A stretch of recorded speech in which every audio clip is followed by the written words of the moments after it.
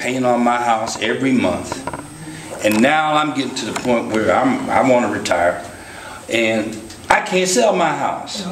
Nobody will buy my house because it's in East Cleveland.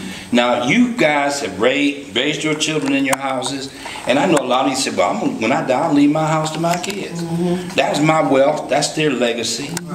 But this stuff that we got going on here now is blocking that.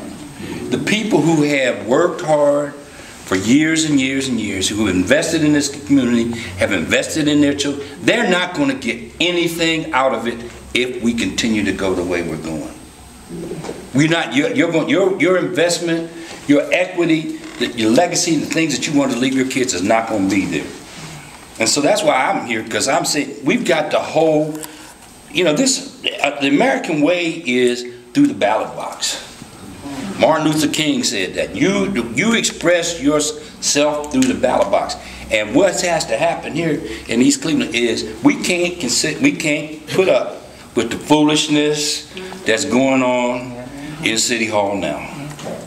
We put up with it long enough. Now, every chance we get a chance, time to vote on those people who are participating in the foolishness, we've got to say, no, we're not having that anymore. And then maybe we'll get some action. Now, I had in mind a program that can help us. Why not take some of this money that they're using to clear all this land down in the west end? I don't know why we're clearing all that up. Why are we clearing all that land up down there? University Yeah. Oh, okay, okay. So that's why I got a big why on that. Yeah. So why not put some of that money in a program that assists existing homeowners to preserve their property? So that they, they have some wealth that they can cash in on. When they die, when their kids want to move back home, that they have a place where they can move back home too. And, and, and I think, and there's, you know what, the, the city's always crying, for, oh, we, oh, we can't do this because we don't have the money. Recently, the regional sewer district offered the city $261,000 for 19 parcels of land. But the city could not take advantage of that offer because they've got little small judgment liens that have been placed on those, those properties by people who sued the city of East Cleveland. That- And if you don't believe me, there's a case, just, there's a, go, go on, go online, it's, it's a matter of public record. This, the case's name is the Northeast Ohio Regional Sewer District versus the city of East Cleveland.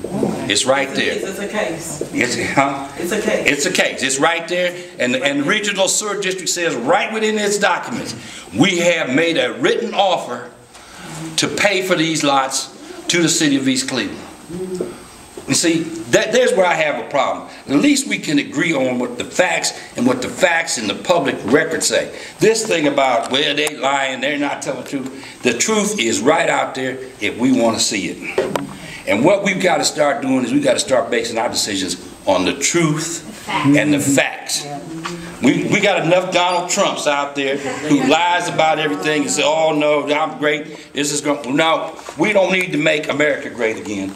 We may need to make East Cleveland great again. Well, I've said enough, because I'm not going to try to dominate the conversation, because there are a lot of other people that have things that they want to say.